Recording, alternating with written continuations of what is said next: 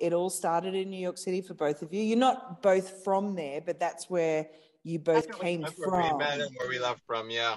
There's the. I'll show it on to the you tote, on the tote. but he's This wearing like it a as little- well.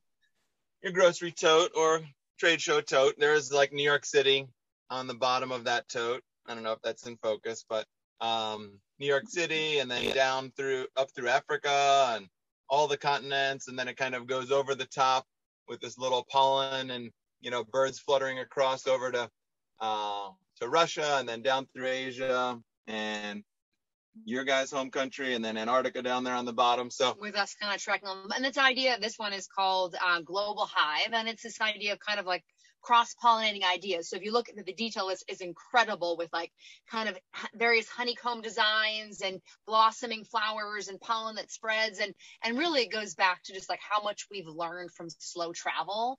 And you know as you go you're gaining new ideas and taking sort of the kindness from strangers with you and passing it along and and kind of making ecosystems better as you go. So uh, we're very you know we're real environmentalists at heart and like you know and truly kind of thinking about HoneyTrek and the role of the bee actually as um, you know vital to all our ecosystems and this idea of just like you know pollinating and making things grow. And and so it kind of had a lot of resonance. So we embraced sort of the bee side um, which was which was fun. And a cool thing on this design this one we call the global hive like Anne said about you know learning and and kind of just sharing ideas and, and love all around the world. And what we're doing for every every bundle we sell of this we're going to take 10% of the profits and give to an organization called FLYTE which is all about helping inner city kids that might not be fortunate enough to fly around the world or study abroad or you know go on trips with their parents to help them